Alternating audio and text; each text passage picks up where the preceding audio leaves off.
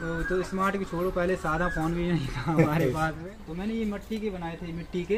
अच्छा। तो मिट्टी के धीरे धीरे करके और जो अरे ससुराल में जाते तो क्या रिएक्शन रहता? है ससुराल में भी वही रिएक्शन रहता है। आशीर्वाद दीजिए। तो चलो दोस्तों।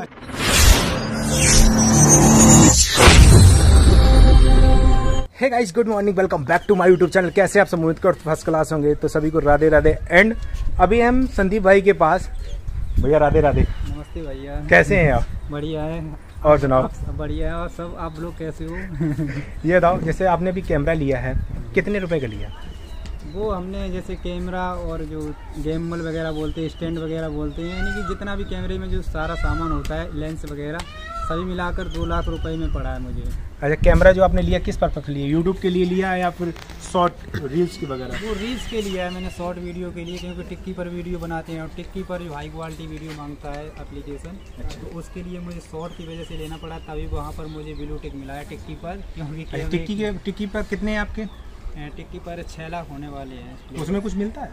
ऐसा है टिक्की पर जो रैंकिंग होती है स्टार वाली रैंकिंग जो अच्छा, एक अच्छा। नंबर पर रहते हैं तो उनको तो अच्छा खासा बेनिफिट होता है। जो सौ से बाद वाले होते हैं उनको तो ज़्यादा कुछ नहीं होता है बस थोड़ा बहुत होता है जो मेहनत करते हैं थोड़ा बहुत अच्छा किस किस ऐप में अभी वीडियो आप बना रहे हैं? अभी इस टाइम तो हम टिक्की मौज यूट्यूब इंस्टाग्राम यूट्यूब पे ज़्यादा एक्टिव हाँ। है यूट्यूब पे लाइव वगैरह भी आते हैं? लाइव वगैरह शुक्रवार को लाइव आते हैं अपने चैनल से और संडे को आते हैं मैडम के चैनल से लेखा के चैनल से। अच्छा अच्छा कुछ लोग ऐसे कहते हैं कि संदीप भाई थी पैसे के लिए बनाते वीडियो कहते नहीं भाई ऐसा कुछ नहीं है। बस शौक के लिए करते थे।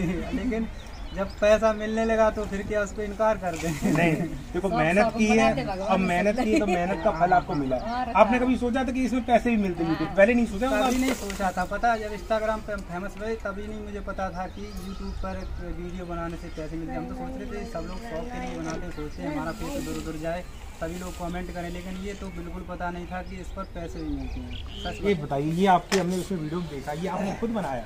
हाँ भगवान शिव जी की मूर्ति मैंने खुद बनाई थी 2009 में बनाई थी दोस्तों 2009 में और मैंने नाइट में ही बना रही थी क्योंकि घर पर जो खेती बाड़ी का काम था तो उसकी वजह से दिन में टाइम नहीं मिल पाता था।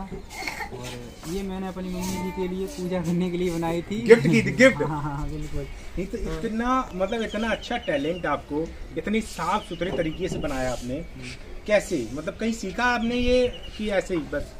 तो मैंने ये काम जो मूर्ति बनाना वगैरह मैंने बहुत सारी मूर्तियाँ बनाई हैं तो मैंने ये काम कहीं नहीं सीखा है बस एक सोचा है इंसान क्या नहीं कर सकता है अगर अगर अपने आप में वो थोड़ा वो रखता है कुछ काम करने के लिए तो वो तो कर लेगा पूरा जैसे कि मैंने सोचा था कि भगवान शिव जी की मूर्ति एक मेरे भैया ले आए थे एक छोटी मूर्ति नहीं वो मेला में आती हाँ, है हाँ, चीनी हाँ। मिट्टी वाली हाँ, वैसे हाँ। करे भगवान जी हाँ, बैठे हाँ। होते हैं तो वही मूर्ति को हम रात दिन देखते थे हम सोचते थे वैसे तो ये किसी से भी बनाई हो ये भी मूर्ति हम भी बना सकते हैं।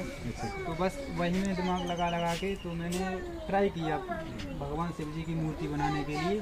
तो मैंने ये मिट्टी के बनाए थे मिट्टी के। अच्छा। तो मिट्टी के धीरे धीरे करके और जो हाथ है और हाथ पैर में वो मैंने जो तार वगैरह होता हाँ, है हाँ, वो डाल के जैसे कि मिट्टी एकदम ऐसे रोक तो सकती नहीं है ठीक यूट्यूब पे देखा कि ऐसे ही अपने दिमाग से? यूट्यूब तो हम जानते नहीं थे पहले जब ये भगवान शिव जी की 2009 में हमने मूर्ति जो बनाई थी तब यूट्यूब वगैरह हमें पता ही नहीं था कहाँ है और फिर फ़ोन तो फ़ोन भी नहीं था हमारे पास में कोई भी तो, तो स्मार्ट भी छोड़ो पहले सादा फ़ोन भी नहीं था हमारे पास में बस ऐसे ही।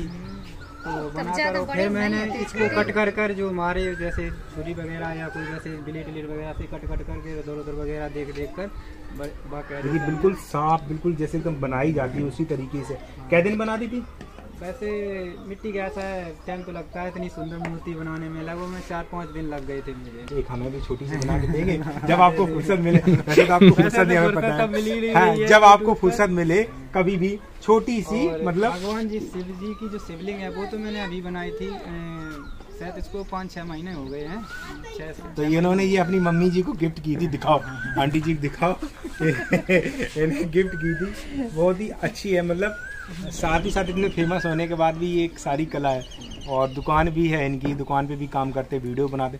तो सारे दिन आप बिज़ी रहते होंगे फिर तो। हाँ पूरा दिन बिजली रहती है। जैसे कहीं आप रिश्तेदारी वगैरह में जाते हैं तो लोग वहाँ पे मिल जाते होंगे फैंस वगैरह मिलते होंगे हैं? बहुत जगह हुई हम दोस्त की शादी में गए थे तो फैंस इधर उधर से भीड़ बहुत इकट्ठा अरे ससुराल में जाते तो क्या रिएक्शन रहता? है ससुराल में भी वही रिएक्शन रहता है भाई ससुराल में भी फैंस है। हर जगह का रिएक्शन वही रहता है बहुत सारी भीड़ होती तो है आप गाड़ी कब ले रहे हैं? फोर व्हीलर कब ले रहे हैं? अरे अभी इतना तो नहीं है कि जो गाड़ी फोर व्हीलर ले रहे कोई नहीं अगर आप लोग सपोर्ट करेंगे। आप सभी लोग सपोर्ट करोगे तो एक ना एक दिन भगवान ने चाह तो हो सकता वीडियो है वगैरह आप कहाँ यहीं पे बनाते हैं? यही लोकेशन रहती है? हाँ यही लोकेशन है हमारा। कहीं अभी बाहर नहीं जाते? बाहर भी जाते हैं अपने खेतों पर जाते हैं जैसे उधर हरा भरा पेड़ पौधा है वहाँ पर भी वीडियो बना लेते हैं। लेकिन ज़्यादातर घर पर ही बनाते हैं क्योंकि सुलेखा जी की वजह से क्यों वो बाहर कहीं जा नहीं सकती हैं? वो जाते ही नहीं उनको शर्म से महसूस होती है दिखाओ भी हाँ, हाँ,